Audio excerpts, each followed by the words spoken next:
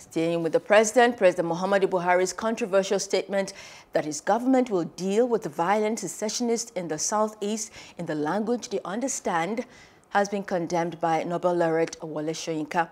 Professor Soyinka in a statement says Mr. President's recent deployment of this language is thus wrongly targeted and tragically untimely. The president's statement has stirred controversy across Nigeria and beyond, with critics describing it as insensitive and suggesting genocide against the Igbos.